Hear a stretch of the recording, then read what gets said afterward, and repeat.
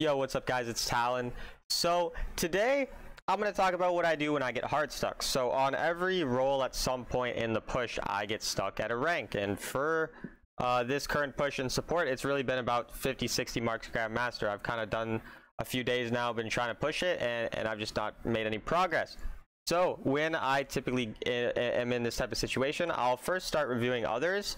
And um, that's kind of what I have here is my notes from reviewing some really good players. Like I watched a lot of Lamont playing support to try to figure out some, some of the things I could work on. And then after that, I'll just review a few of my games um, to look through what I'm actually doing wrong, what of these things I am doing aren't doing, um, that type of thing. But these are some of the things that I found in their gameplays that I might not be doing a ton. Um, I was watching Thresh mostly, but some Gragas as well in support. And so I'm not going to go over all these things, but I'm just, you know, I have these in my mind, and I'm going to try to look at kind of what I do in one of my games. So now we're just going to go over one of my games, and I'm going to tell you guys what I'm looking for when I'm trying to improve and when I get hard stuck. Okay, guys, so we're in the draft now, and uh, the reason I want to start in the draft is because I kind of want to talk about champion pool and, and the champs you play. So for me, in support, it feels a lot different than other roles because to me, supports are obviously much more, well, supportive. So I feel I should be picking more for the team comps than I am. I've been trying too hard to kind of like find a very small amount of champions for support, and I think that's completely fine to, to climb on a very small amount of champions. But for me, I feel that I have good enough mechanics on a decent amount of support champions that I could widen my pool a bit and try out a bit more champs. So I want to try some more Gragas, some more Leona, Alistar, um, just play some more champions in general when it looks like the right situation. So already in the future, I'm thinking I want to be trying out more champs that pair better with my ADCs rather than just picking whatever champion I kind of feel like in the moment. Because I've currently just been playing a lot of Thresh, um, a lot of Nami, and, and, that's really been like mostly what I've been playing. So I feel like if I widen my champion pool already, that might help me. Even though typically I do say that it's better to have a small champion pool. For me, that's not been working out for this challenge, even though it's worked out for most of the other challenges. So initially, I'm going to try fixing that. And then now we're going to go into the game and we're going to kind of see what goes wrong and right in this game and what I can improve on. And then I'm going to write down some notes after um, for that, just for what I can improve on. But I've already kind of got the notes down of what I want to look for um, that we had in those notes in the intro. So initially, I'm going into this matchup, and I'm kind of thinking, I have Tristana. She's really good at following up if I'm able to CC someone. So for me, I really want to play for the level 2 and 3 when Tristana has her um, all of her abilities up, and I have my hook and my flay. And then we can combo together and make some nice plays. So level 1, I should not be very aggressive. So I'm really hoping that, that I'm not too aggressive. And then one of the main things I noticed already initially from watching Lamont and watching other really good players is that when they're playing engaged supports, they're trading much more aggressively when the jungler is on their side of the map. So I want to look at in this game, am I trading aggressively when my jungler is near, and am I backing off when my jungler is not near? Because to me, I think that's like one of my biggest issues that I really want to get better at. And then another thing that I noticed that's, that, that to me was very important is often I'll be playing with an ADC. Usually I'm playing with a random ADC. And they'll get really low really fast. And I usually am not good at combating this or stopping them from getting low so fast. And I know in this game my ADC gets low health really fast, so I want to see what I could have possibly done to prevent that. Because when I was watching these other players, I would see them either, you know, sometimes they would just give up and let their ADC die because they can't always do anything about it. But when I would watch these players, they're getting maximum damage off while their ADC gets hooked in or, you know, goes too far forward. So I really want to see what I do in that type of situation as well and see what I can improve on in that situation. So I think it's good here so far that I'm hitting a lot for level 2 because I don't want to play aggressive until level 2 as we said earlier because we're Tristana Thresh. And here is when my ADC gets hooked in. And I think already I'm going to just skip back in this replay for a second here because I think this is an important thing I want to note initially. My ADC walks up and I don't walk up with them. So I already know I need to be walking up when my ADC walks up a lot more. Like I run back because I don't want to get hooked but my Tristana goes forward and I'm not there to help him. You can see kind of like here, I back off. Uh, we'll, it'll be in about five ten seconds where I back off and then they're going farther up. So already looking at that, I need to be fixing that for sure in my games. So that's definitely something I'll look for in the future is walking for more forward because you can see here once he gets hooked, I'm not really in a position to auto attack them. So like I'm walking back and he gets hooked in. I need to be running forward in case he gets hooked and then I can get a lot more damage off on the Kai'Sa. And then here, I think I greed and I end up dying. So this is kind of just a misplay of more mechanics. Like, I'm just a bit too greedy there. there's not as much to learn from that second mistake. That's just me being dumb, but um, definitely my fault there. And I think the problem for me that I want to work on is just walking up when my ADC walks up. And then now I see my jungler is on my side of the map, so I hope that I trade more aggressively now. But since I don't have my flash, it's going to be a bit hard. So ideally, I pay attention to my jungler and I try to uh, just, yeah, engage with my jungler basically here. So, so that's what we're going to be looking for here if we end up doing that. Um, so it does look like I'm going for hooks and going for stuff, which I think is fine. Uh, but I think there's actually an issue here, and that's that I waste my hook right before my jungler is in a place to engage, because now it's on cooldown when he could have possibly been there to gank. So that's a small thing, but I should keep that in mind to, to save my abilities even for when they're even closer.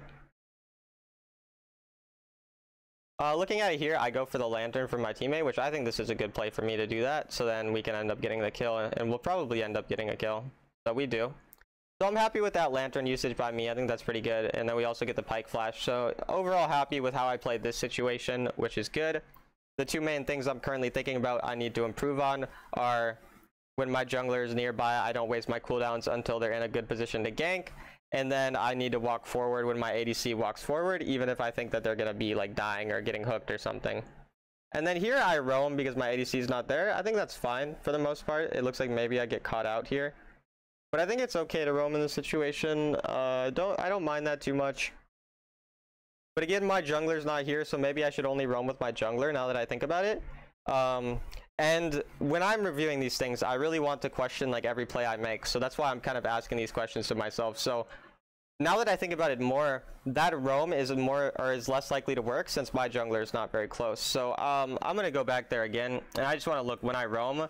Where's my jungler? And my jungler is resetting, as we can see in the map, as I go to roam, and my Zed is also resetting. So I don't think there's actually much I can do here, um, especially since Yasuo is level 5. So looking at it more, maybe I should just be paying more attention to my jungler again to roam. I think I may just not be paying enough attention to jungle in general. So uh, yeah, that's kind of what I'm gaining so far from this. I'm gonna take a sip of water, guys. One second.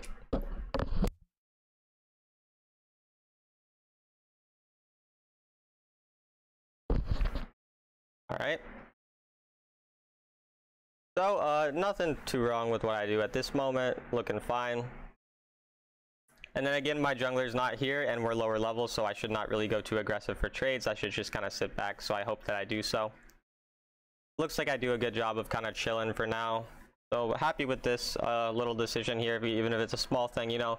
I want to really be uh, like focusing on everything I do here because for me, the difference between Grandmaster and, and, and Challenger is not some grand, you know, like huge thing, right? It's a lot of these small things. So my goal is to kind of question every small thing that I'm doing wrong. Um, and just every decision I make, I want to think about why I'm making that if it actually makes sense.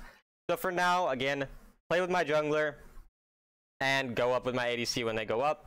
Two main things I'm looking at. They're not crazy huge things, but they can make huge differences and cause us to win when we shouldn't. Now here even, I don't know why back. I want to look at this decision to recall. Um, my ADC stays in lane, but the wave is nowhere near, so I back. I think it's probably fine, actually. Because, yeah, the wave is not too close, so I think it's okay to recall here. Is there any reason I wouldn't want to recall? I guess because then I will lose that wave now since my ADC is going to uh, be alone. But because it's Tristana, I think I'm okay with them being alone since they have their jump. I, if my Tristana has flash, I'm especially okay with her being alone, so I guess it depends on that. But I think this roam is fine overall.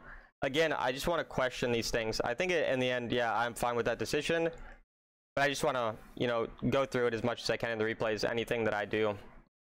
But again, we still have those same issues that we're talking about that are really the biggest issues for me so far. Um, the lane phase and then also like how I play late game and mid game are both things I can work on a lot. So we'll see as the game goes on more what we could do. I also think uh, they have a Yasuo and a Kai'Sa, so I want to build Rand. Okay, this is way too aggressive. I go in on full health person, I use my ult and my flash, and my Vi is nowhere nearby. So this is, of course, a really greedy play. And then I go too far for it. Yeah, I played this really badly. So again, I'm not paying attention to my jungle. It seems like this is just a very reoccurring issue for me, is not paying attention to where my jungler is, because my jungler was nowhere nearby to gank when I waste my flash and my ult. So that was just very stupid. Um, So I'm definitely thinking from this. And once again, uh, when you're looking through these replays, you don't need to find 20 different things to work on. Um, I really think it's good to find one or two to three, maybe four, but like I'd say one to three things to work on and really focus on those in your future games. So for me, in my next like five to ten games, I'm just gonna pay a ton of attention to where my jungler is at all times, and really try to make all my decision decisions based around what my jungler is doing. Because obviously, if you have an extra person there, it's just way more ben beneficial. So I'm gonna try much much harder to play with my jungler in in situations, and I think that can definitely improve my tank gameplay a lot. Um, and then once again, those early lane phases with my ADC, as I've repeated multiple times um, is another thing that we'll work on. And I think if I work on those two things, I'll already be able to climb quite a bit more. Um, so yeah, overall, it feels like I've already been able to gain some good information from this, even if it's stuff that I kind of like, you know, I knew that I should be doing this, but if you don't actually see yourself making these mistakes, sometimes you'll end up autopiloting and not really doing these things when you don't think about them um, for sure. So now the way I play this fight, I just kind of go to try to save my teammate. That, that's pretty fine, I think. One thing that, that I find quite hard in solo queue is lantern usage, uh, mostly for the reason that a lot of people seem to not take the lanterns, and this makes me kind of uh, kind of use my lantern too often for a shield. I think I need to be using my lantern more for ganks and for helping out team and saving them. Even if they're not always going to take it, I think I just need to get in a better habit of using it as if they do know what it does, because I feel like in, in the long run that will be more beneficial and it will uh, save a lot of people's lives and also help with uh, getting extra kills for my team and whatnot. So I think uh, that's also another thing I want to keep, uh, keep in mind is my lantern usage for sure. And using it earlier so that I can get them to notice it earlier because sometimes they don't notice it when you throw it out in the middle of a fight. So I think I need to try to anticipate my teammates' locations better here.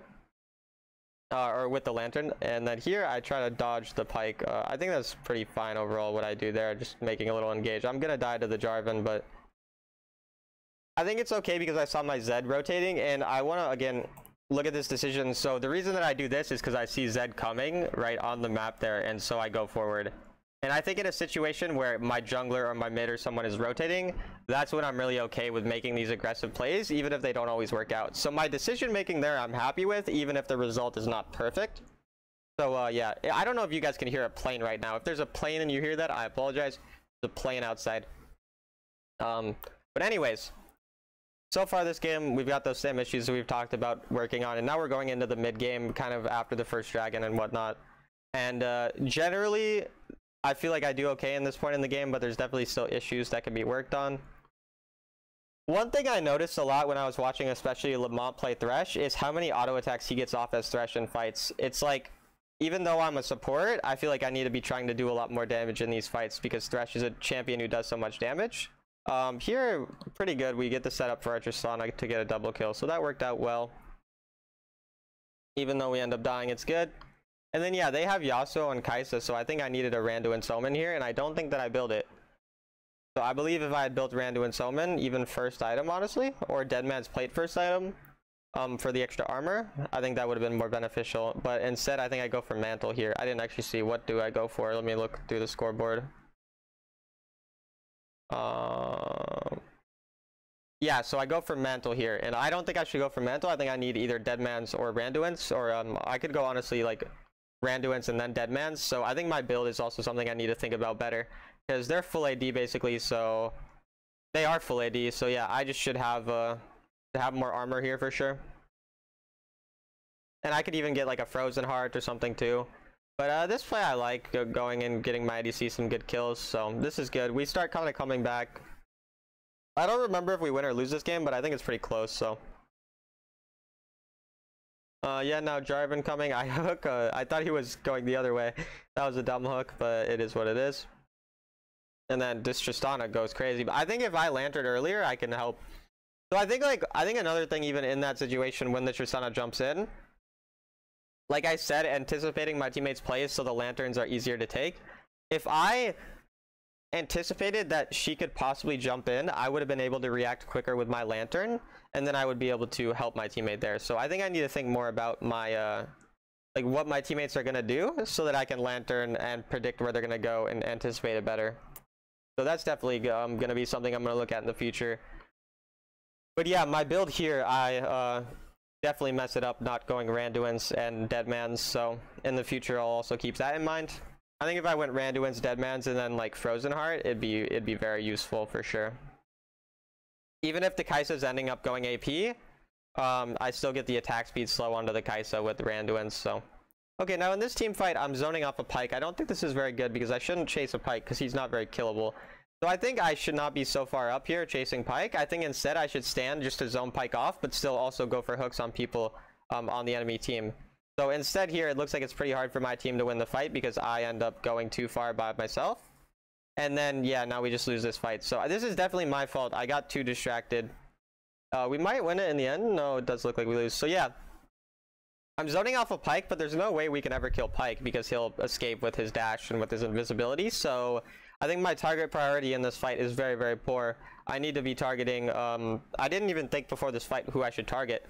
But I think I should be targeting Yasuo and Kai'Sa really because if I can, again, if I build this Randuin's Omen and then I apply the attack speed slow to them, it's going to be very useful because those are the champions whose attack speed is very important to them. So I need to be building better, and then I also need to be positioning in a way to stop their carries um, and go on to people that will be killable, because Pyke is not really going to be killable in that situation.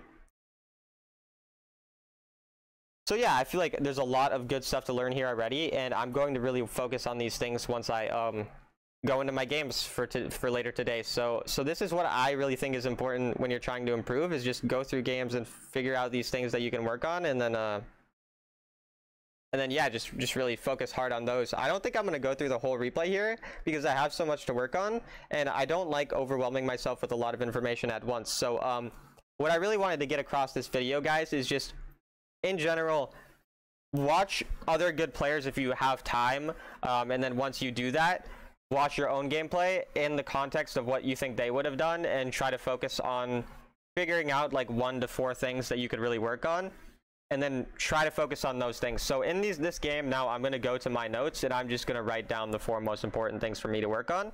And then after that I'm going to actually try to do them in my game. So now I'm just going to write write what I will work on. And then I'll just make a list. All right. So the first thing was walk up when my ADC is inting. Um, basically, if they're going too far forward, I need to go far forward with them because in the end, I need to save their life if I can. Um, secondly, pay attention to my jungler, and I I won't write it out fully. Just pay attention to the jungle, because um, I know what that means, and I just need to know what that means. And what that means to me is make sure I'm trading aggressively when my jungler is nearby. Uh, I'm more passive when my jungler is not here. And the same applies to my mid laner. If my mid laner is rotating and I start trading more aggressively and I go for the ganks, or, and I save my flash and everything for that, um, then into the mid game, it's target priority. So again, I'm not going to write out exactly what that means. I'll just explain it to you guys. So what I mean when I say target priority is I need to figure out again like that Yasuo or that Pyke example. I don't want to go for the Pyke who can't be killed, but instead I need to be going for the Kai'Sa and for the Yasuo and all of that. And then la lastly is my builds. Um, I just need to think more about them. Go the Deadmans and the extra armor when I need that. Go the MR, the mantle um, when I can, you know, need armor and magic resistance and all of those types of things. So those are really going to be like the main things I'm going to focus on are these four things. And then once I feel I've improved on these four things, I'm um, inning, that's it's not baseball, inting. Okay, I did not see that spelling error. Anyways, these are kind of going to be the four things that I'm going to focus on. Once I've improved these, I will again go through the same process if I still feel stuck. And then I will again do the same thing and I just repeat this process until I feel I've improved enough and, and, until I climb. So this is a process I recommend you guys go through if you think that you're kind of stuck in an elo. Um, anyways, I hope you guys enjoyed and I'll see you in the next video.